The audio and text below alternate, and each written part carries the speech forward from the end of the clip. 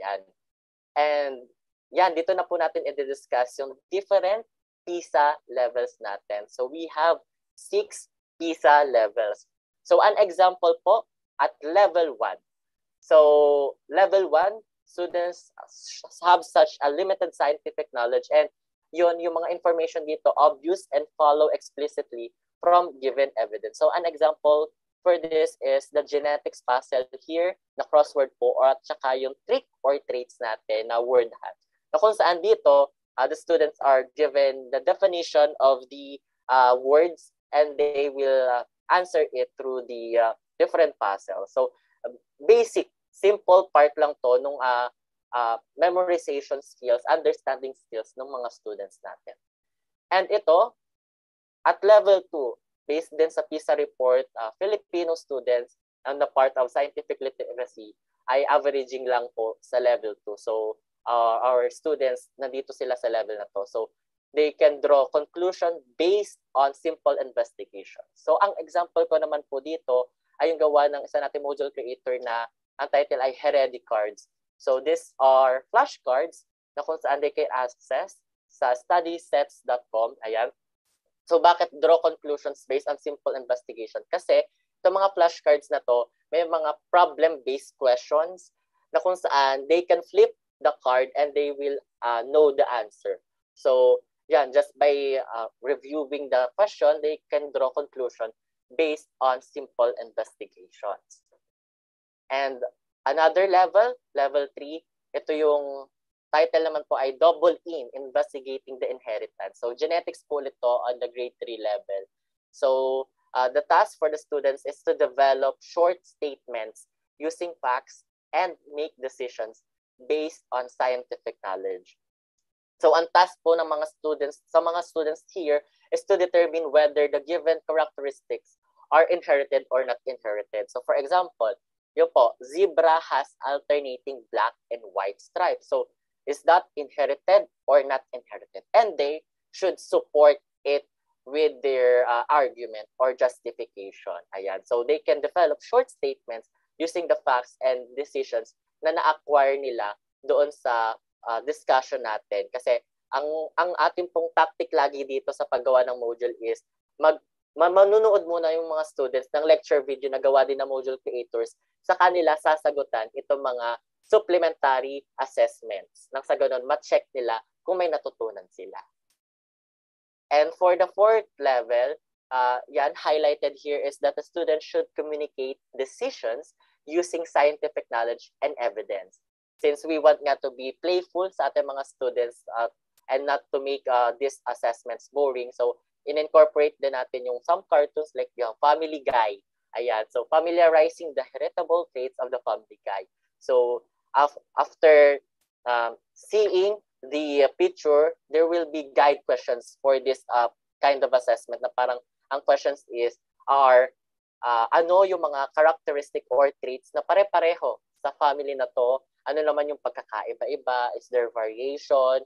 Bakit kaya ganon? So laging may sa uh, follow-up question dun sa ating guide questions sapagkat we want our students in this level, level 4, to communicate their decisions and support it with corresponding evidence. Ayan, using scientific knowledge and evidence, okay? And second to the last, we have we have this PISA level number 5. An example for this are the trait mixing and the detective gene. So, uh, here the students should construct explanations based on evidence and arguments based on their critical analysis. So para na tong uh, nasa HOTS level na tayo na kung saan uh, yung critical thinking skills ng students yung tinatakal natin. So ang example po dito yung traits mixing. So kung maaga kayo dito sa Zoom meeting natin kanina, pinilay po siya ni Sir Jeff. So ito is uh, parang yung mga NIPS candies natin represents the traits of the uh, the parents na kung saan yung stud, uh, offspring sila yung mag-a-acquire ng mixed traits na kung saan uh, our students can uh, investigate by that video kung paano nga ba nag-work yung traits mixing and yung heredity. And then yung sa detective gene, since mga bata sila, mga elementary students, ang ginawa naman ng uh, module creators natin dito ay yung storytelling part na kung saan ang story dito ay may isang bata sa bahay ampunan na kung saan may dalawang father na nagsasabi na sila yung totoong tatay. So, paano natin malalaman kung sino yung totoong tatay dun sa dalawa? So, we have uh, the traits given dun sa bata and traits ng dalawang parents. So, doon malalaman kung sino yung plausible or possible na parent or father ng bata. So, makikita natin dito na very varied yung ating mga uh, assessments na binibigay per PISA level din dun sa ating mga students.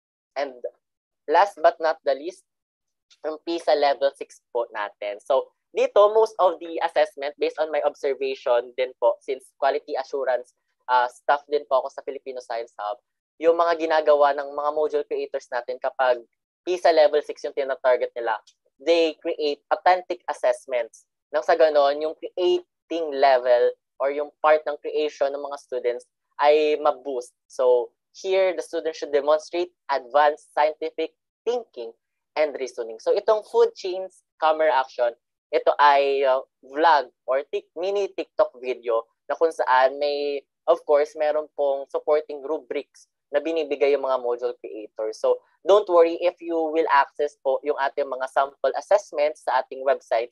We also provide teaching guides where the answer keys and tips sa pagtuturo ng mga and pagbibigay ng assessment ay nakalagay din po doon together with the links for the worksheets para sa mga bata. So that's uh, the six PISA levels from PISA level 1 to 6. And then ayun po, uh, I hope na uh, marami kayong uh, bagong natutunan since uh, most of the uh, some of the uh, teachers nga kanina ay nabanggit na they are not familiar with the PISA. So ayan po, we have six PISA levels that targets students' critical thinking. And hopefully, by implementing and incorporating these PISA levels sa ating mga assessments, ma-fill na po natin yung gaps that was identified by the PISA report. And sana, by this PISA levels din, mas uh, ma uh, enhance pa natin yung critical thinking skills, yung scientific investigation